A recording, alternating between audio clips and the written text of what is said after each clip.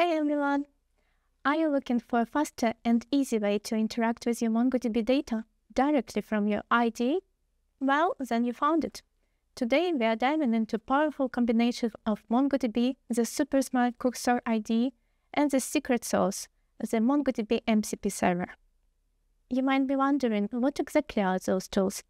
Well, Cursor is AI first code editor designed to help you write, edit, and understand your code faster. And the MongoDB MCP server is a fantastic tool that acts as a bridge and allows AI model like the one inside Cursor to secure a chat with your MongoDB databases. The beauty of this integration is that it brings your database directly into your coding environment. It's a tool game changer for getting stuff done faster.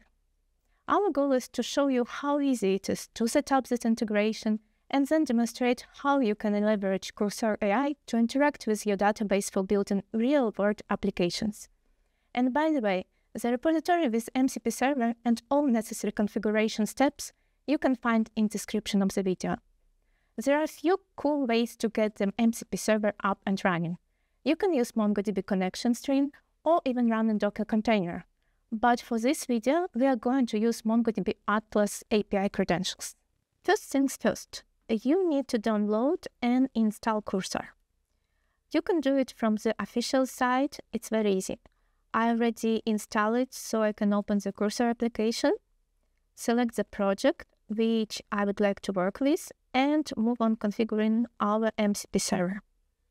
Cursor application acting as an MCP client, so it requires a configuration file to connect and communicate with the MongoDB MCP server.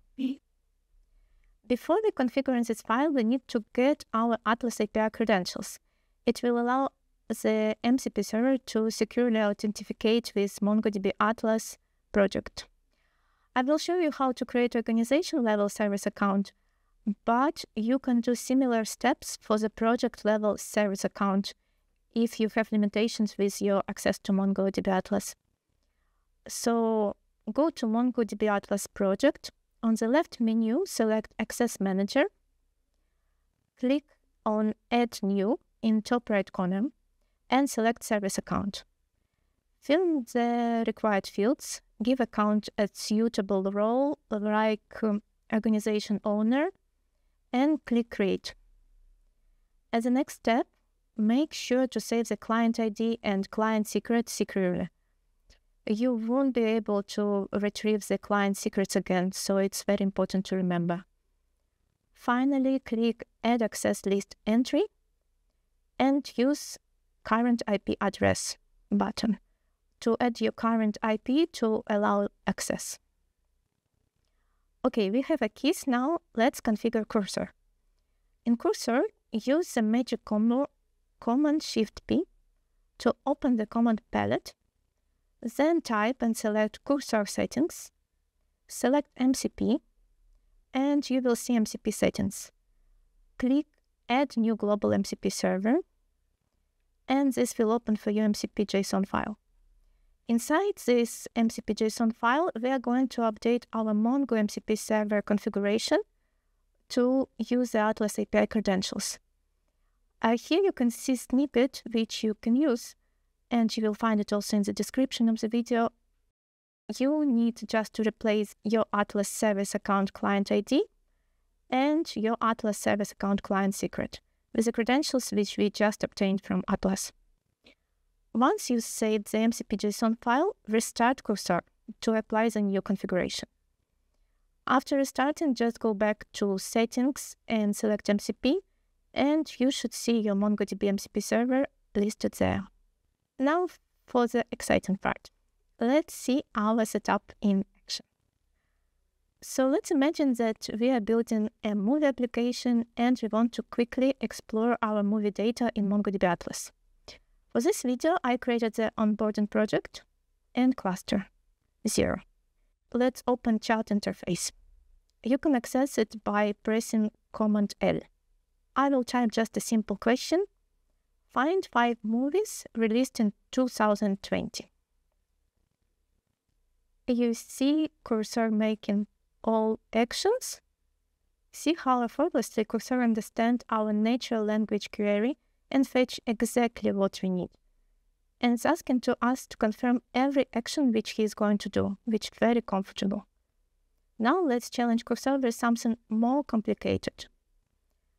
So let's prompt show me the short movies which at least one awards win and with rating more than 8 and group them by year. Voila, Cursor successfully builds and executes the aggregation pipeline to identify and analyze specific data. Give it just a second and you will see all information about our movies. The same way, you can do a lot of other operations to manipulate with data in MongoDB collections. You can, for example, add new document. So you can write add new movie to the movie collection, for example. And let's check now it's executing. After it's executed, just a minute, let's wait. But Cursor isn't just querying existing data or creating new data. Also, it can help us manage our MongoDB Atlas clusters and projects. So let's try something bold. Let's create create a new Atlas project called test project. You see that Cursor executing actions. It's getting uh, the organization ID and it creates a new project. How cool is that? Now let's create a new cluster in our project. Let's prompt create a new M0 sandboxed cluster named my new awesome cluster in AWS US East. Okay, it's executing. And there you have it. So Cursor fetches all details about our newly created cluster, including its status, connection string, and even more. How cool is it? Uh, now we can go to Atlas and just check if our cluster was created and running now. Let's go for project and check. Yes, our new project and our new cluster running. Everything fine. But now let's switch gear to coding. What if we want, for example, in our application to add a new movie to a collection?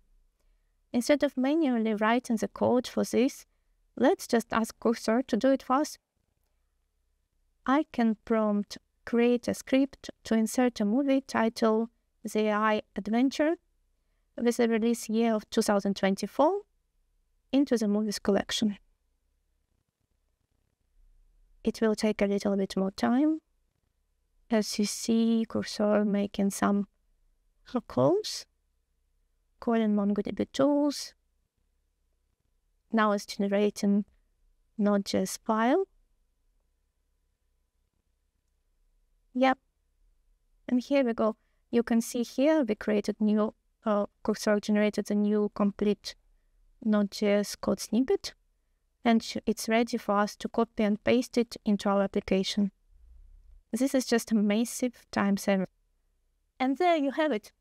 A quick and effective way to integrate your MongoDB database with Cursor via MongoDB MCP server. This powerful combination supercharges your development process with AI-driven insights. Give it a try and see how it transforms your MongoDB interactions. In the video description, you can find some more information. Happy coding!